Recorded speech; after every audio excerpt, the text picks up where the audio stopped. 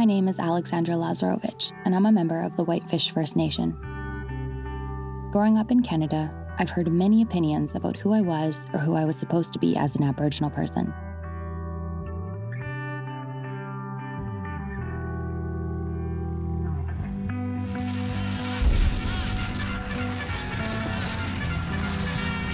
As Native people, we know that there's certain stories that are told about us and that are lived about us, and then they become part of our lived experience.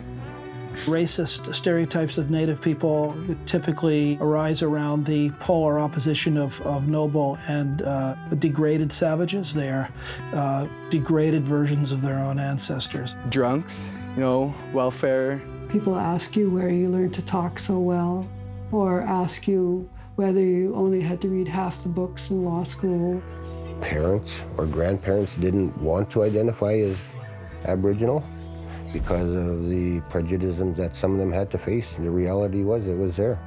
In high school, they would run around me and do woo, and and that was one instance I think where I felt, my goodness, you know, these people don't even know who I am.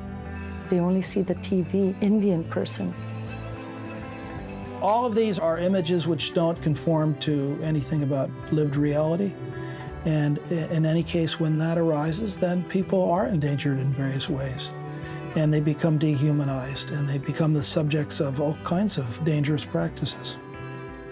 For decades, partial truths and stereotypes have formed the Canadian public's ideas of Aboriginal peoples. But how have these perceptions affected our individual and collective sense of identity? What are the factors that shape who we are as Aboriginal peoples?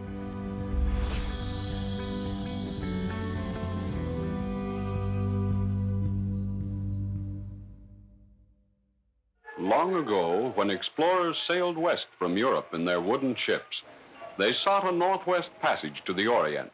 What they found was a new world. Since the first early interactions between European colonists and Aboriginal peoples of Canada, a number of treaties, acts, and laws were established. Early settlers made up labels to identify Aboriginal peoples, which are still used today. Indians, Eskimos, Indigenous, Native American, First Nations, Treaty, Status, Non Status, Urban Indian, Inuit, and Metis.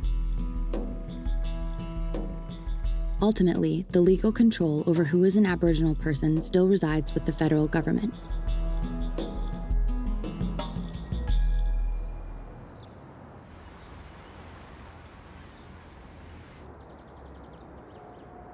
Being Aboriginal is both a public or cultural perception, but it's also a legal category.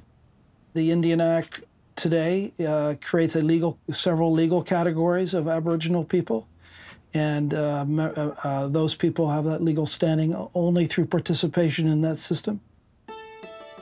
There are many distinct Aboriginal cultural groups across Canada, from Cree to Ojibwe to Gitxsan to Blackfoot, each with their own unique customs, culture, and traditions.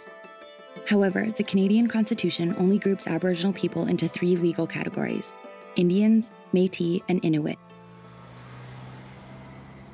When you think about it historically, our communities had our own ways of defining who was a community member, and it wasn't based on race or blood quantum or, or, or any of those things. We had ways of adopting people into our nations, uh, ways of integrating between nations, uh, and ways of continually evolving and defining ourselves as who we are. Identities have always been changing throughout time, right?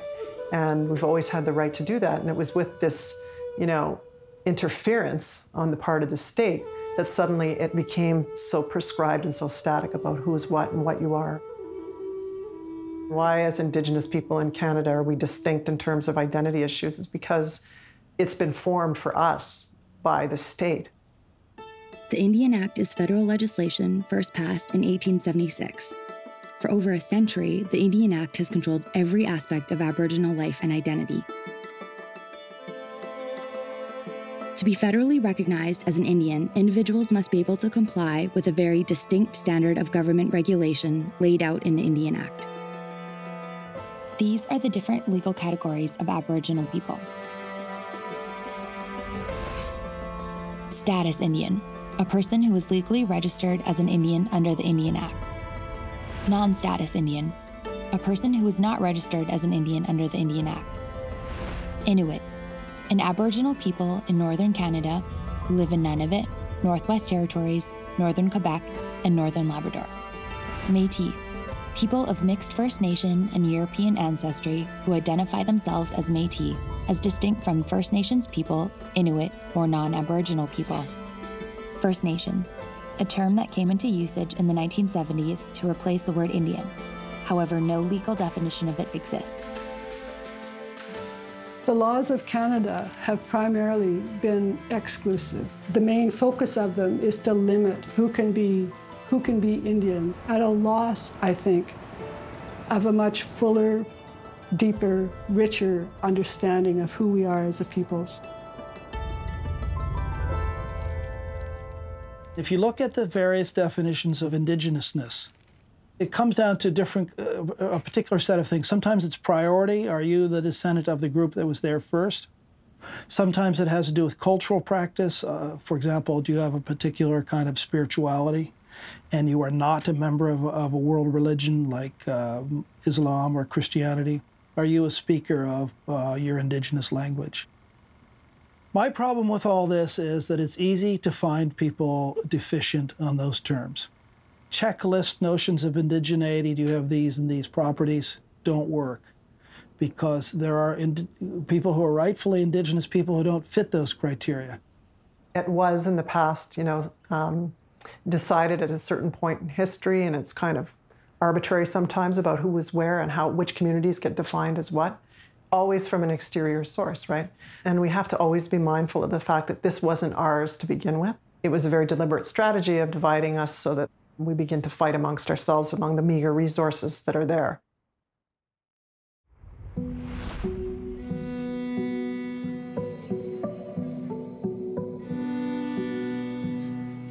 For more than 100 years, the Indian Act stated that status Indians were considered to be wards of the state and were unfit to take care of themselves and their children.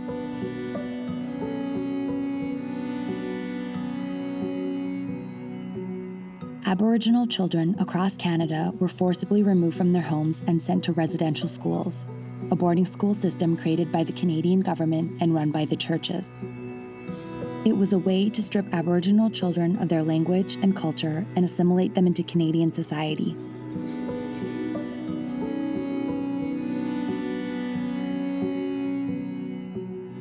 Many students at residential schools were subjected to severe physical, psychological, and sexual abuse.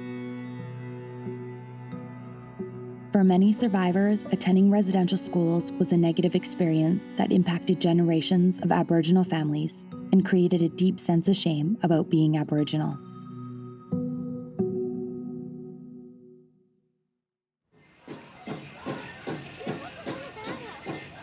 These historical and legal perspectives are aspects of how our identity is formed but it was time to examine our backgrounds and cultural influences.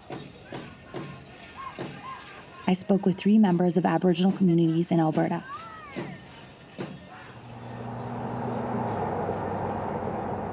No matter where I meet Aboriginal people, one of the first things you ask is, where are you from? We identify with that, no matter who we are as Aboriginal people. Where are you from, eh? The Kikino Métis settlement.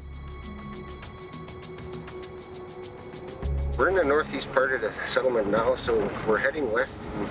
to the other end of the settlement is 20 kilometers, and then 20 kilometers to the south. What does Kikino mean again? That means our home in Cree. Uh, this is it. This is our home. The Kikino Métis settlement is 107,000 acres, you know, four and two thirds townships. That's a good chunk of land. It creates, you know, opportunity for us the Métis people were always good hunters and were always kind of tied to the hunting and uh, and having that ability to live off the land. So you know those ties have always been there. On Kikino here, uh, I am an entrepreneur. Have a buff, uh, buffalo ranch here, bison ranch. Uh, we have horses, we have pets. My wife's a uh, dog breeder, so the entrepreneurial spirit is alive and well here. These big guys here, they're our team that pull our carriages. This here is Max and Jake here.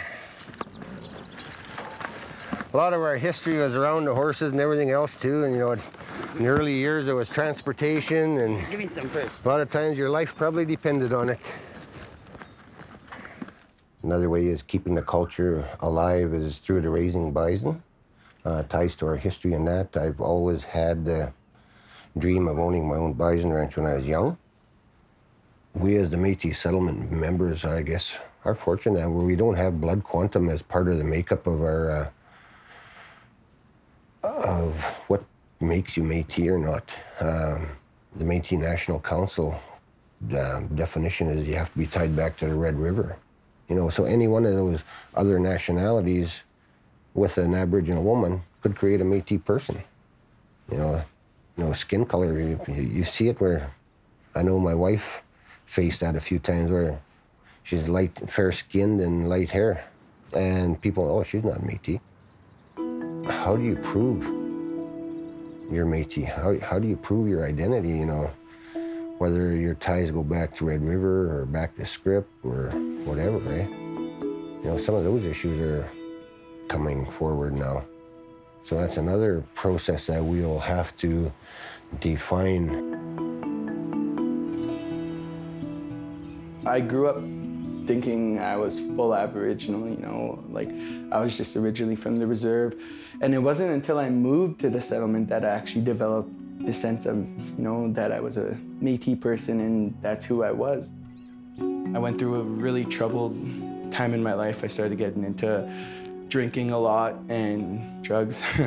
yeah, and missing school, you know, just not having a care in the world. And I got really kind of depressed and, you know, I had a lot of like uh, issues with suicide, suicidal thoughts around the thing. And kind of, you know, I just felt like I was stuck there and that there was nothing to do. So I called my dad and um, I told him kind of what I was going through and he invited me to live with him. And ever since then, I've been living in Buffalo Lake and that was since the age of 14. I identify myself as a Métis and I am proud of it. I like I love being who I am. I love having the heritage that I have. I'm very proud of it. I really feel tied to the Métis community and I really want to go and give back to my community before I give back to anywhere else because that's where I got my roots from and that's where I kind of developed into the person that I am today. I wanted to look into my own family roots and learn more about how my family stayed strong and kept our culture alive. You tell me about you being an Indian princess? I've always been an Indian princess. well, how old were you when you won that title? I think I was 19 years old. I just got back from Ontario. Uh-huh. And um, there was this princess pageant. And my mom said, okay, you want to run? I'll make you, I'll make you whatever you need, you know. So she made me my outfit. So I became the Indian princess, but it, we had to sell all these tickets, but we also had to, I had to make a speech at, uh, at the uh, Friendship Center, and there were five panelists. And so we had to, I, I, had to talk about my views as to what I wanted to do, right? It's not a, it's, it's a role, right? And I think a lot of people have to understand that there are different roles you play. But being Indian is not a role. Being Indian means who you are, the very person you are, the very essence of your soul, the roots that you come from. I was born in Grouard, Alberta, small community on the shores of Lesser Slave Lake. Uh, very, uh, from very humble beginnings. My mom and dad uh, had to do a lot of things to be, make a living. And we were brought up with uh, an ethic that said that you had to work really hard in order for you to be able to get where you want to go. And my mom was the driving force of our culture and making sure that we knew who we were. We always had that, that, that sense of pride, that sense of knowing, the sense of my grandma was always around, our aunts were always around, that maternal and matrilineal line was always lived to the fullest by my mom. She knew if we didn't we didn't know who we were that we'd get lost somewhere and she never wanted that. So she was always strong in terms of what she taught us and how she taught us and knowing who we were, knowing uh, the very essence of that identity. She taught us everything about life and family and how to survive in this world.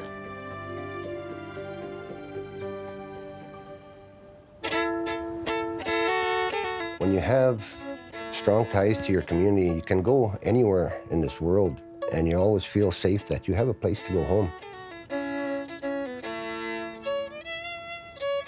I know that the retention of your culture, a lot of it is based on the retention of your language. If you lose your language, you lose your culture. And we're very fortunate here to have our own school in Kikino. Cultural programs that they put in into the curriculum is awesome. You know, they're, they're teaching them Cree. They're, they have fiddle groups and that. And they also did jigging. You know, that's part of the Métis culture. That's being taught in our school.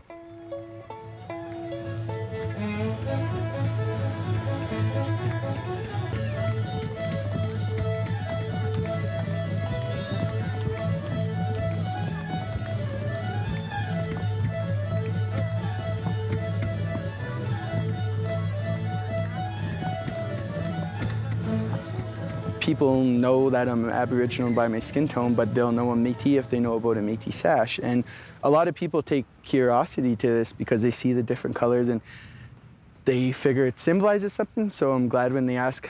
To me, I guess it's just identify. It helps to identify who I am when I'm in public. A sash still is a symbol of my Métis culture and my Métis identity, but at the same time, I'm still going to use it for the same things our ancestors did, which is a tool, uh, whether it's, you know, a scarf or just something to wrap around your bag and carry. So when I would actually wear my my Métis sash around my neck, people would be like, oh, nice scarf. And I'd be like, actually, it's not a scarf, but it is, it's a Métis sash. And I would start to, you know, kind of tell them about Métis heritage, everything that I do know I'd be willing to share because I just want people to know that are people out there and that we exist. Identity for me is just knowing that I have Aboriginal culture, and not only because of the color of my skin, it's just uh, knowing that, you know, I, I have those Aboriginal roots.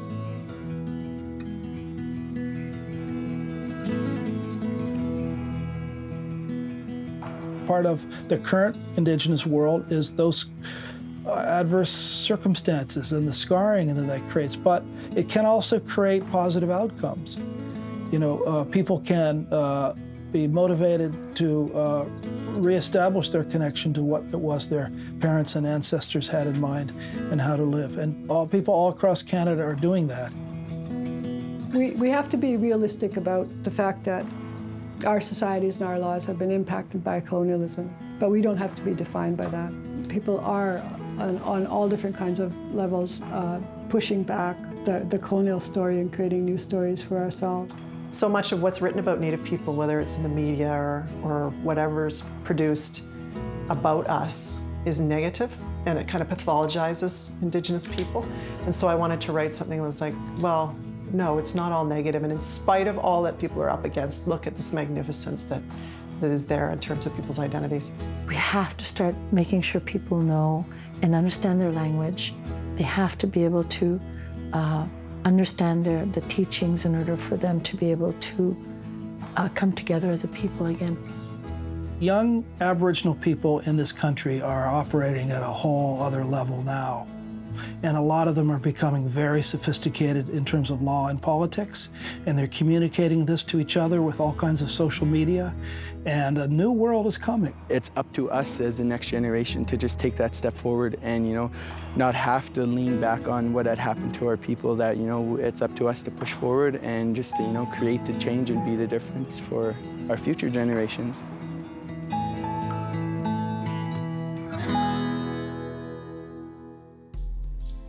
As an Aboriginal woman, I've come to understand that Aboriginal identity is a unique and personal journey, and legal definitions don't have the power to define us. We have to look to our vibrant communities, our loving families, our beautiful culture, and unique language to form our identity.